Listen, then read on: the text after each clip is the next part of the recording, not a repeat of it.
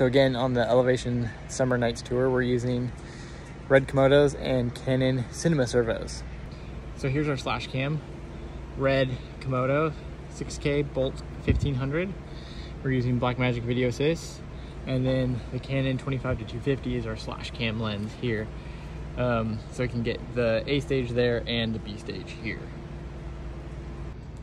For our follow cam, it's again a red Komodo and the Canon 50 to 1000.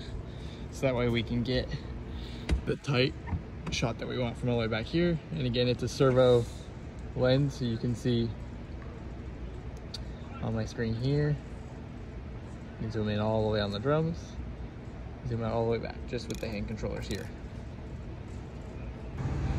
Director Station, Constellation 8K, 4ME panel, PTZ control, rhythm track control, and.